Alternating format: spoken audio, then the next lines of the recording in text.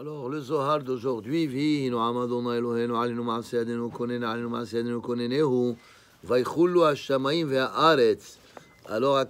Hu, euh, le sixième jour, après qu'il a créé Adam, etc., alors, il a fini sa création de son univers. Ça veut dire, parce qu'il y a eu des créations célestes, hein, comme le ciel, et le soleil, et la lune, et les étoiles. Et il, a, il y a eu des créations de Haaretz, la terre, comme la terre, la végétation, les animaux, etc. Alors, Rabbi El-Azhar Patah, Rabbi El-Azhar, il commence ce pasouk par, le, par l'interpréter par rapport à un autre pasouk. C'est marqué dans Teilim, Maraf Tufcha, Asher Lire'echa, Pa'alta la Hosimbach. David Amelech, il dit le bien à Kadosh Baruch que tu as réservé pour les tzadikim. Ça veut dire, on ne peut pas s'imaginer de quoi ça a l'air, le Olamaba. Alors voilà, Baruch Hashem, on a passé un mois de mitzvot et de joie et de plaisir matériel.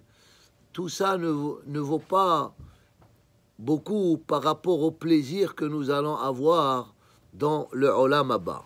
Bour et Akosh Baruch bara et Adam Baruch il a créé l'être humain dans ce monde. Vetikenoto, shalem ba'avodato. Et ça veut dire la création de, de, de, l'être humain, c'est une création parfaite. Si on, on réfléchit comment le, le, corps humain il fonctionne avec tous les ramah evarim et les chassa guidim, c'est une merveille extraordinaire que nul autre que Akadosh Baruch qui peut faire cette, cette créature. Alors, Tikenoto Shalem, l'homme il est parfait, rien, tout son corps il fonctionne d'une façon extraordinaire.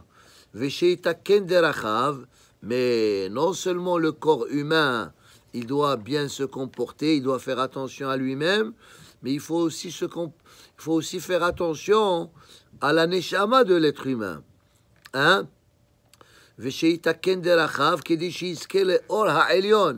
Comme ça, s'il se comporte bien dans ce monde, euh, après 120 ans, il va avoir la récompense d'avoir Or Ha'elion, la lumière éternelle. Et d'où vient cette lumière? Chez Gana Zakadosh Baruch la tzadikim. Comme on a dit, Elohim Yehi Or, Vayhi Or. Ça veut dire, Hachem il a créé la lumière, c'était une lumière euh, plus spirituelle, mais il a vu que il y aurait beaucoup de Rechaim. Alors Hachem, qu'est-ce qu'il a fait? Il a pris cette lumière et il l'a gardée pour qui? Pour les tzadikim, les atid lavo, dans le monde à venir. On appelle ça, dans le terme de Kabbalah, Or Haganuz. C'est ce qu'il dit ici. La ora elion chez Ganaz.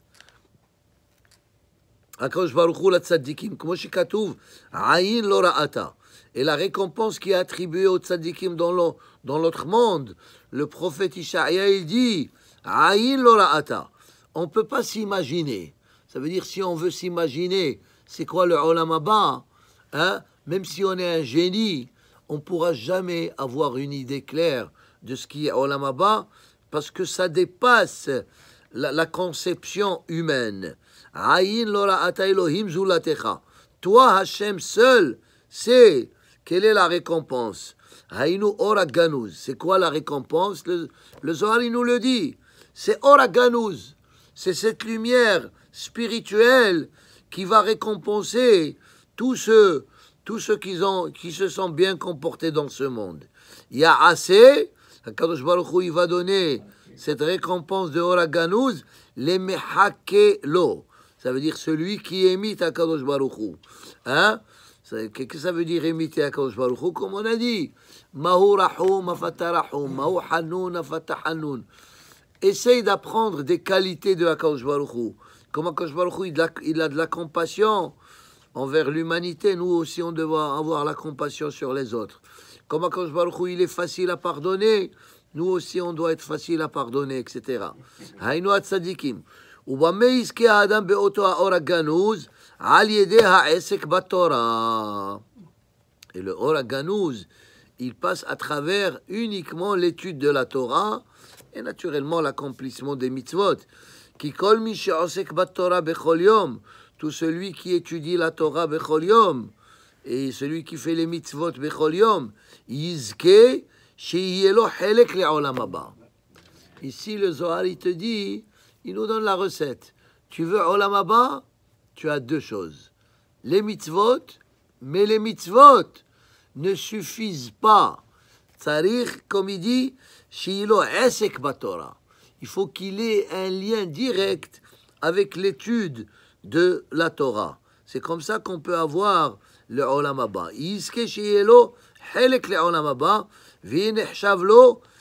Bana Olamot. Quand on étudie la Torah et on fait les mitzvot, on est en train de faire des, des, des constructions dans le monde céleste. Comme on a dit plusieurs fois, tout ce que nous faisons dans ce monde, il y a des réactions célestes. Si on fait des mitzvot, c'est des réactions positives. Bonnet olamot, tu construis des mondes. Et si c'est des averot, il y a des conséquences négatives. Tu es en train, en train de détruire des mondes. Hein? C'est comme quelqu'un, tu pousses un bouton, boum, et une bombe, elle peut exploser de l'autre côté. Alors la même chose, la même chose avec les mitzvot et les averot. Qui. Parce qu'à travers l'étude de la Torah, Akash Baruch il a construit le monde et le monde il a été complété. Zéhu Katuv, Hashem bechokhma yasad eretz. Akash Baruch il a, il a bâti le monde bechokhma. Konen shamaim bitvuna. Ve'ainu bechokhma bitvuna shel la Torah avec la sagesse de la Torah, Vechen Katuv, va etzlo, va etzlo amun. C'est marqué dans Mishle, C'est comme un architecte. L'architecte, avant de construire, qu'est-ce qu'il voit? Il voit le plan. Et par rapport à ce qui est écrit dans le plan, il fait, il fait son travail. La même chose ici, il dit pour Akaosh Baruchou, c'est quoi le plan de la construction de l'univers? C'était la Torah.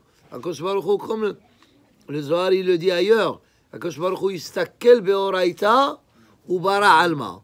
Baruchou, il a vu le plan de la Torah et par rapport à ça, il a créé le monde.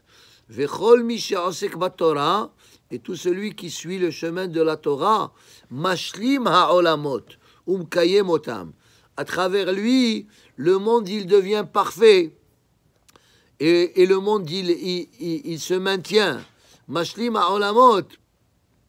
C'est ça comme on dit, l'etaken olam malchut shaddai. Ça veut dire, c'est quoi le but de la Torah et les mitzvot? C'est de rendre le, monde meilleur de, ce qu'il est à travers, à travers euh, à travers la Tzedaka, à travers Alors c'est comme ça qu'on rend le monde meilleur.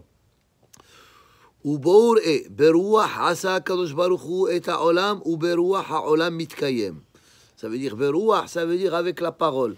Comment il a créé le monde Avec la parole. Comme on dit, Bidvar Hashem, Shamaim Naasu.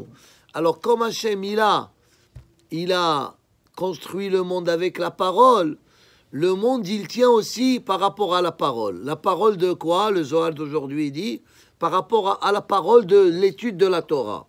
Ça veut dire. Ça veut dire quand on étudie la Torah, comme si on donne la force au monde de, de continuer d'exister. Hein? Et d'ailleurs, comme on a dit, c'est marqué dans Parashat Bereshit, Yom Hashishi alors que les autres jours, c'est pas marqué Harishon. Hashishi, cela veut dire le He, veut dire les cinq livres de la Torah.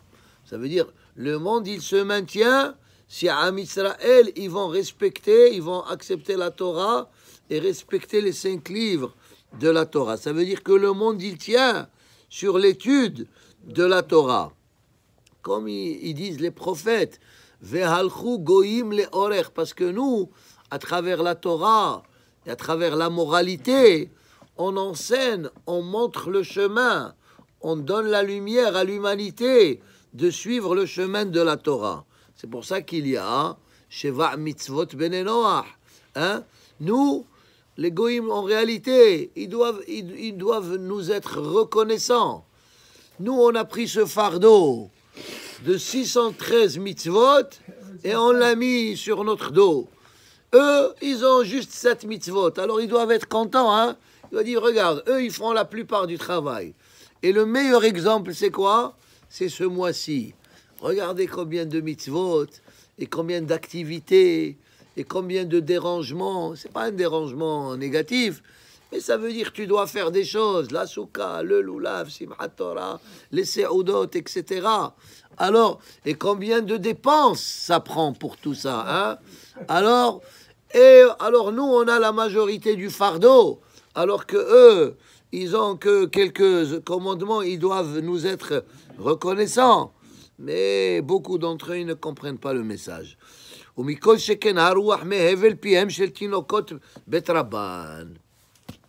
Ensuite, le Zohar il dit, parmi l'étude, on a dit, on a dit la, la Torah c'est la parole.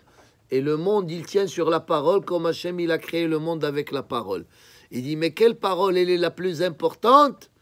C'est la parole de ceux qui sont tout petits, Tinokot Shel Bet Rabban. Ça veut dire ceux qui sont dans le Heder, qu'ils apprennent Bereshit, Bara, Elohim, à peine si- s'ils savent lire. Alors eux, leur étude, il est, il est apprécié devant Akadosh Baruch plus que n'importe quelle autre étude. Pourquoi? La Gemara, elle, elle- au- autre part, elle dit, je pense, Abaye l'a dit à Rava, Didi vedidachmai, et ta Torah et ma Torah, pourquoi ils sont pas à la hauteur de la Torah des petits-enfants? Alors, il lui a dit, Enodome hevel, sheyesh bohet, hevel sheyen bohet. Ça veut dire, il lui a dit, oui, notre Torah, elle est très importante aux yeux de Hakadosh Baruch Hu, mais quand même, elle est mélangée avec des fois, avec des péchés. Et des fois, même pendant l'étude, on peut faire un péché. Si tu t'a- t'arrêtes, si tu dis la Shonara ou Bitul Torah, etc.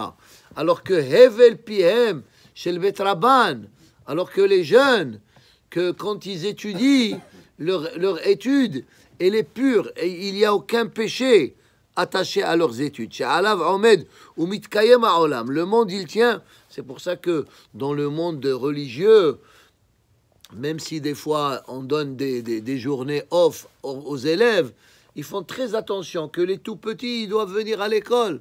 C'est pas parce qu'on veut les, on veut les faire travailler. C'est parce que leur étude, il est tellement important que le monde entier, il tient sur leurs études. Marav Toufra, Alatov. Alors il revient sur ce qu'il a dit.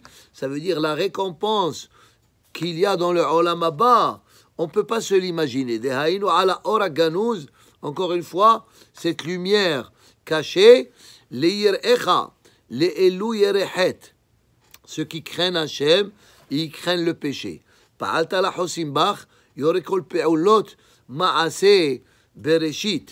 veut dire tout ce que Akadosh Baruch Hu, il a créé, parce que même quand Hachem, il a créé le monde, il a créé le Olam Abba. Hein? Quelle est la preuve? Il a créé le Gan Eden. Le Gan Eden, c'est Olam Abba. Rabbi Abba Amar, c'est Gan Eden. Hein? C'est ça le Gan Eden. כי באומנות עשה הקדוש ברוך הוא את גן עדן התחתון שבארץ בשווה למעלת גן עדן העליון. Alors voilà, il répète encore une fois le concept. Comme on a dit, tout ce qu'il y a en bas, il y a en haut, dans le monde céleste. Alors ici, il dit, comme il y a le Gan Eden à Tahton, il y a aussi le Gan Eden à Elion. Hein? שיתחזקו שם הצדיקים.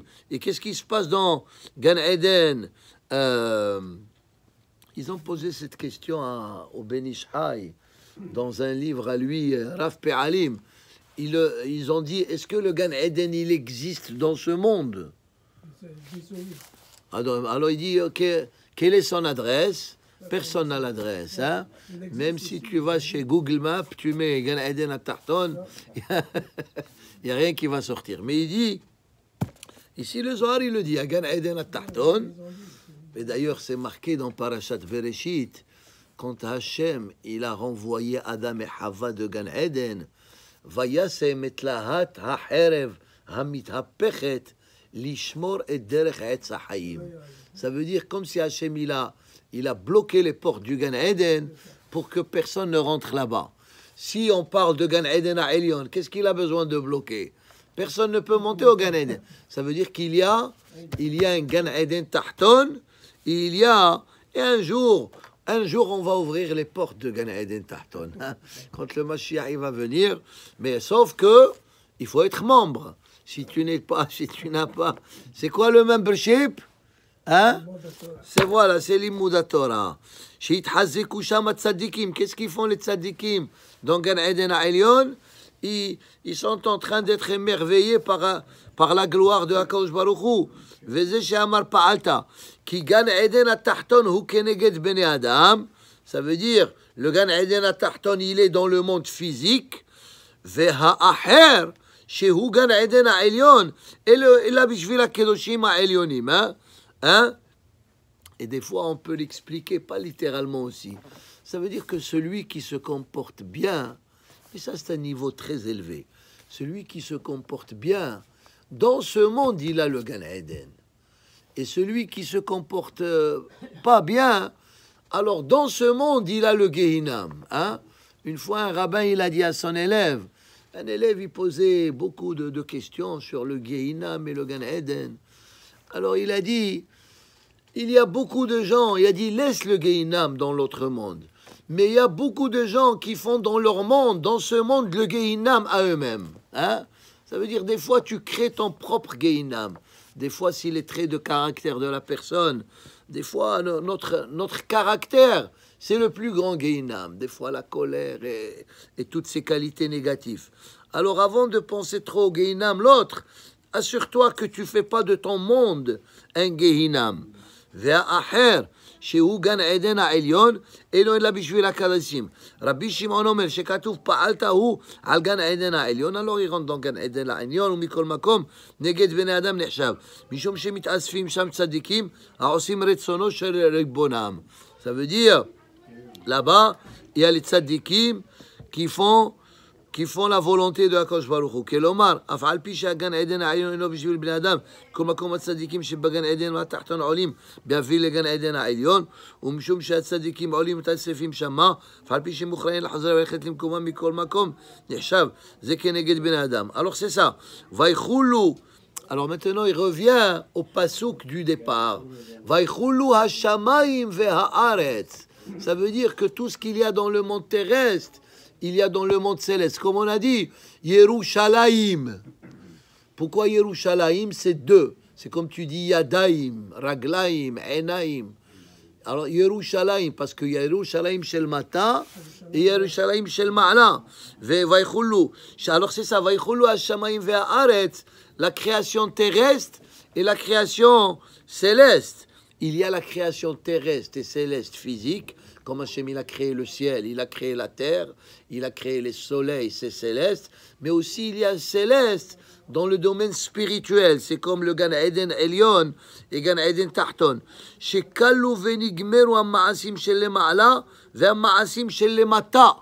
veut dire à Baruch c'est comme on a dit, nous, comme on, comme on vient de lire, Yaakov Hevel Nahalato. Nous, on est Yaakov, les enfants de Yaakov Avinu on est comme si on a une corde attachée à Kadosh Baruch Et quand on fait des mitzvot, alors c'est comme le spirituel. On fait, même si on prend le physique, le matériel, on fait avec une mitzvah, ça devient spirituel et ça monte, ça monte en haut. C'est pas comme le, ceux qui disent non, Akadosh Baruch il a créé le monde, mais ça y est, il a, il a, il a laissé. Nous, on pense qu'Akadosh Baruch il continue de créer tous les jours et nos actions, ils ont une influence sur ce qui se passe en haut. Rabbi Shimon Amar, שנגמרו המעשה והאומנות שבתורה שבכתב, והמעשה והאומנות שבתורה שבעל פה. Ça veut dire que quand quand Akadosh Baruch Hu, il a créé le monde, d'ailleurs c'est pour ça que la Torah elle commence avec la lettre Bereshit. Ça veut dire bête. Ça veut dire tu veux lire cette Torah, tu dois savoir qu'il y a un monde, il y a deux mondes. Il y a un monde ici et un monde dans Olamaba. C'est ça, Bereshit. Et aussi, Bereshit, bête veut dire, tu veux lire la Torah, il faut que tu saches qu'il y ait deux Torah. Torah chez Bichtav et Torah chez Be'alpe. Ça veut dire que, que pour comprendre la Torah écrite, il faut lire les commentaires que Hachamim, ils nous ont laissés C'est le Talmud, c'est le Rashi, c'est les Mefarshim qui expliquent Torah chez Bichtav. וכל צבעם פירוש פרטי התורה, הפנים שבתורה. ויחולו השמיים והארץ וכל צבעם. Ça veut dire tous les commentaires de la Torah. Comme on a dit, il y a le Pardes, Pardes, le jardin secret de la Torah qui est Pshat, Remez, Drash, Vesod. Il y a différents niveaux. יהיה עושי שבעים פנים לתורה. וואלה, דהיינו שבעים פנים לתורה, ויחולו השמיים והארץ, יורה ששניהם נתקיימו ונשתלמו זה עם זה. Ça veut dire qu'Akos Baruch quand il a fini sa création, la création elle était parfaite. Shamaim va'aretz prat uchlal, ve'chotzevaam hainu sodot ha'torah. Les secrets de la Torah. Ve'ataharot shebatorah, ve'atumot shebatorah. כלומר דיני טהרה וטומאה כתובים בתורה. ברוך אדוני לעולם אמן ואמן.